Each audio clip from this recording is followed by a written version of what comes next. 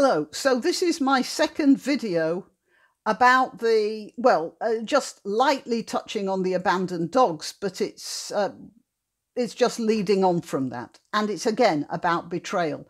You see, I was, my attention was drawn to this because Tim Pool made the comment that those poor Marines who got killed in uh, Kabul, well, the gate of Kabul airport, they got killed because they were keeping the gates open for the Brits.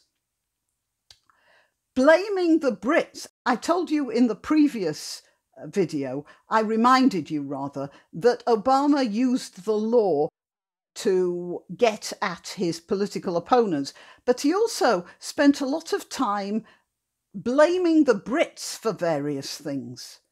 And it was absolutely, he hated Britain, that was quite obvious and he spent a lot of time deflecting people's aggravation onto Britain. And, well, as people have said, that Biden's um, administration is Obama point three. And uh, it's a similar sort of situation here. It's the British army that's responsible for the death of those Marines. No, it isn't. The British Army has backed up the American forces with great dedication, bravery, and professionalism. As a matter of fact, I'd say that the British Army is one of the best trained and the most professional in the world, and I'm very proud of them all. And the Biden administration are betraying that loyalty that the British showed to them, just like they betrayed those loyal dogs. Don't be fooled by this story about the British being to blame or the Afghan army to blame. It's just a deflection. No, the Biden administration deserted their allies. They, they, they left Bagram Airport without telling anyone. Can you imagine? And then their soldiers got killed because they didn't have the backup that they needed from the allies that they had abandoned or rather that the administration had abandoned for them. And that, by the way, includes the dogs, because the dogs would have been able to identify a bomber. That's what they're trained to do.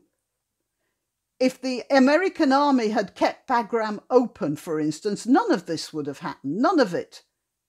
So who's to blame for those Marines getting murdered in that way?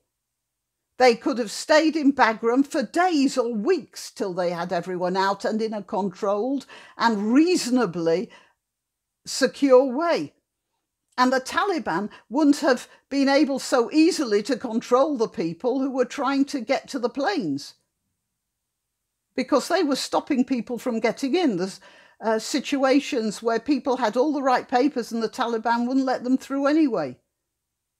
moving out of Bagram it, it, if I were asked to give my opinion of that, I would say it's as if Biden was actually trying to get people killed.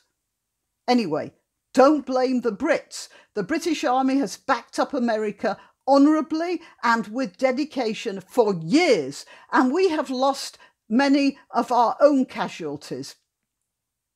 I uh, I also I want to add that the uh, both the USA and the British forces, the ones who've died, actually don't say it was for nothing because that's not true. For the past 20 years, Afghanistan has not been a breeding ground for terrorists.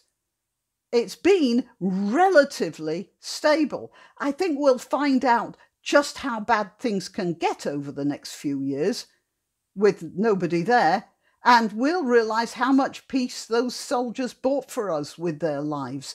And there are people alive today who would not have been alive if not for the work and sacrifice of those soldiers, right up until the time the American commander in chief threw away those Marines at the gate, really for no reason. But again, what does this administration have to do with loyalty and to those abandoned dogs, whatever they were? It reminds us well, it reminds me anyway of the rottenness at the heart of the American administration. They were the absolute essence of everything that's wrong with the Biden administration's handling of this situation.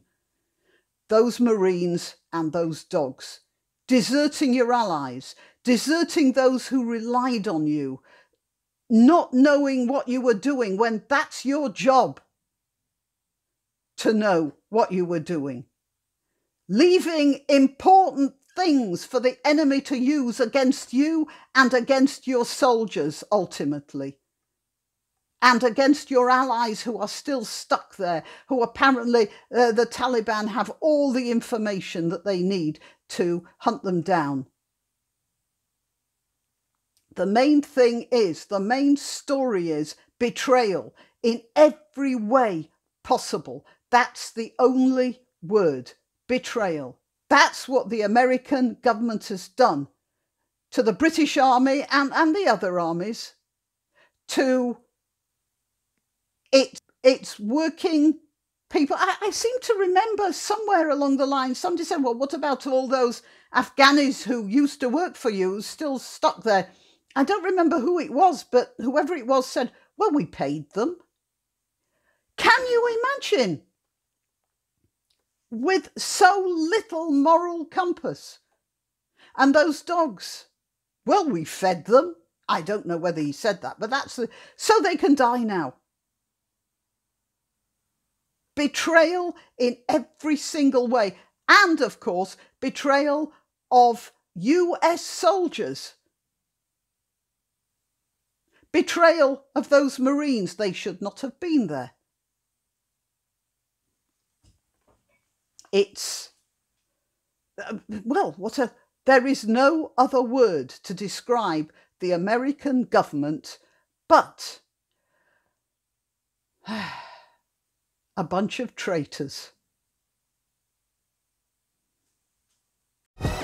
Why not treat yourself or a favoured relative or friend to these magnificent examples of merch? The mugs and t-shirts come in the Granniopteryx design or Granbow with a firearm or the more deadly knitting needles. Go to www.granniopteryx.com and whatever platform you're watching this on, please click like, subscribe and share, share, share.